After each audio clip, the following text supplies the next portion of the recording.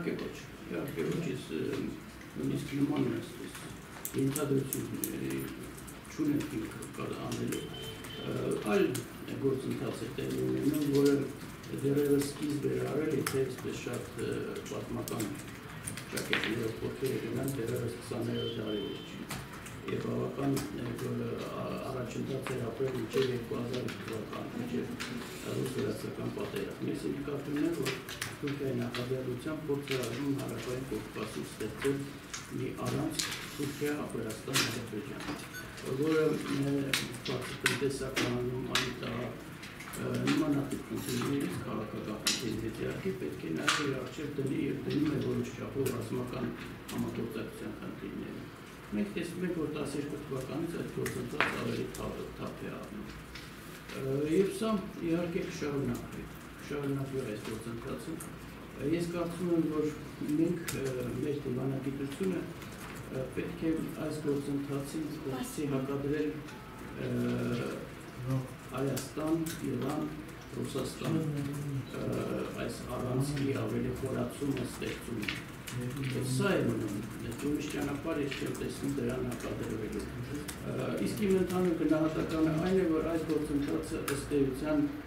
մեծ վնաս է հասցնում հարավային Կովկասի ապագային, որտեղ հարավային Կովկասի ապագան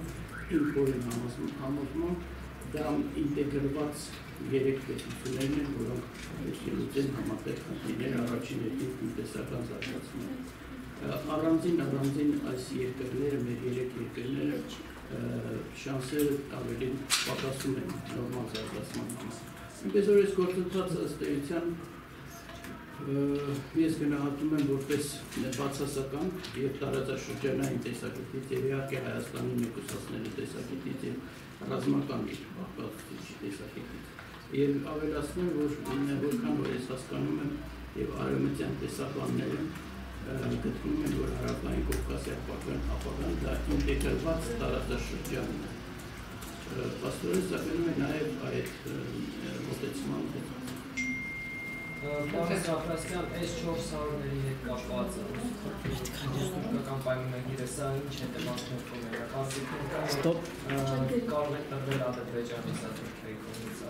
Չեմ կարծում։ Ես իհարկե չեմ կարծում, որ դա կտրվի նույնիսկ ես վերջնական դեռևս համոզված եմ, որ այս գործարքի ավարտի կհասնի, որովհետև իհարկե ճնշումը Թուրքիայի վրա Ամերիկայի Միացյալ Նահանգների կողմից հիշեցնի հայտարարությունը բավական մեծ է եւ ես կարծում եմ որ Թուրքիան այս գործարքը օգտագործում է ոչ թե իրական իր պաշտպանական հնարավորությունները բողջեղացնելու համար, այլ ամերիկացիների հետ այսպես ասած, գործարքները տարբեր տեսակի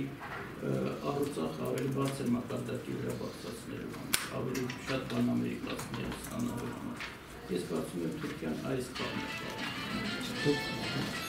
Ազատ Թուրքիայի մասը Քուրդիստանից է ունենալու